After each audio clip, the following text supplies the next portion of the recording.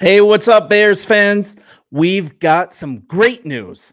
The Chicago Bears returned to practice on Tuesday as they began preparations for the preseason game against the Cincinnati Bengals on Saturday. Guess who was back practicing? That's guard Nate Davis. And this is really, really good. This roster starting to get healthy and this trend, it's leaning toward the Bears starters not playing on Saturday, given that the two teams will have a joint practice all week um, at Halas Hall. But man, this is super encouraging. And I'm going to go to the story on beargoggleson.com. It's, it's just a fun source. It's really, really good.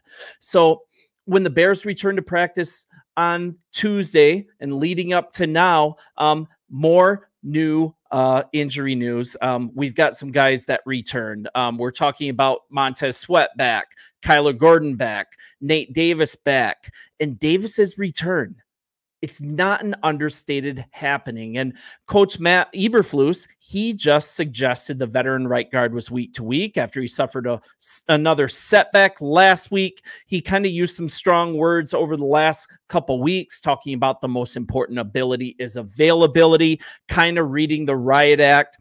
And there's been a lot of talk in the meantime, right?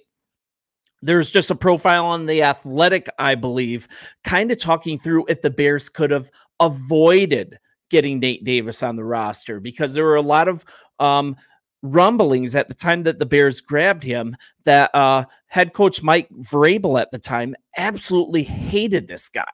He had a lot of talk coming out of his coaching staff saying that Nate Davis does not like to play injured, that he was essentially soft, that he would just take games off if he had a little ding. So you can take that for what you will but I'm just going to celebrate that he's healthy. I'm going to celebrate that this offensive line is starting to become an intact offensive line and what that means for the future, this future season, especially um, with protection of Caleb Williams. Because if Nate Davis is healthy and he's willing to play, this is just a game changer for this offensive line. And we're also getting some good news on our draft pick, Amegadjie. He's almost ready to go. So, let's kind of talk a little bit. Um, we've got some players that have missed time recently that are stretched that stretched for practice and actually got on the field. And we're talking about Nate Davis, Sweat, Gordon, and um, man, Nate Davis at right guard with the starters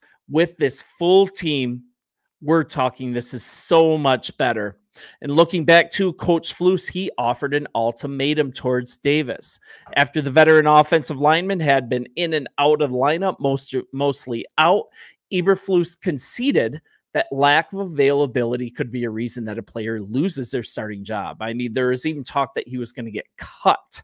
So this is huge, him coming back. So we're looking at with Davis back, this offensive line is going to be fully functional. And Davis, I'm one of them. Super frustrated with him as a fan base, um, super like critical of him not being able to play. But as we get to really meaningful football with the season start, let's starting, let's be let's be like happy about this and let's realize that he's a super capable lineman um, especially in run protection and his pass protection that can be improved a little bit. But if he can start next to Darnell Wright, that allows for Ryan Bates to serve as the team's starting center, possibly, or be able to freely provide depth across the across the board. And um, I'm not sure if this center competition with Shelton is completely settled yet. And um, in addition to Davis, there's been progress on Kiran Amegadjie's status. And um, it looks like the rookie offensive tackle is going to be ramping up this week with the expectation of potentially returning to practice as soon as next week. So we're talking about this here. We're talking about his rookie season with the Bears being considered kind of a redshirt year, even though we selected him in the third round in this last draft. But if he can return to practice before the start of the regular season, that's likely going to be enough to keep him on the 53 man roster without a need for using an IR designation. And that is just fantastic news. And this is directly from the injury report. It says offensive lineman Kiran Amegadjie is ramping up and may begin to practice soon. The rookie third round pick has yet to practice with the team during training camp. So, like, that's like the official word straight from the injury report. But, um, man, this is just looking really good. And if we look at yesterday, it shows that this Chicago Bears team is really close to being a complete team. And this is really good. Um, since August 4th, it's been a little spotty. We've been times without Tyrique Stevenson, time without Gordon, even time without Montez Sweat practicing, Nate Davis as well. But all of those players participated in full on Wednesday as well. And that was ahead of today's joint practice with the Bengals. Just such a welcome sight. And it's just it's so clear how much of a difference there is going to be what was seen in that practice um, being on the field instead of being um, sidelined.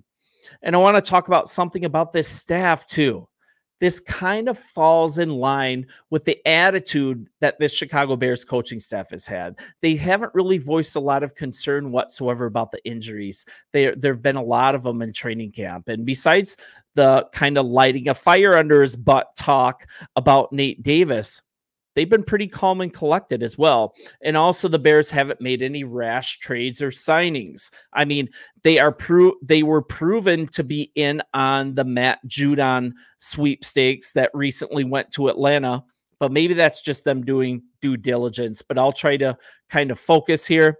I'm going to kind of close with looking at this practice a little bit. Uh, the starting defense took the practice field. Sweat was back, and he had a pass rush rep when he chased Caleb Williams out of bounds. He didn't allow the quarterback to scramble for a handful of yards. And it's just, you guys have watched Hard Knocks. It's just really cool that this offense is just developing primarily by facing this top tier defense every single day in practice. We're looking at Spider Man was back during the 11 on 11. Williams got a free play when his hard count got the defensive line to jump.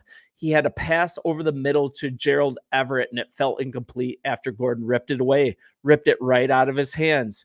Stevenson was back. He batted a Williams pass away from DJ Moore um, as he tried to float it over Stevenson's head. It is just so much fun to watch this.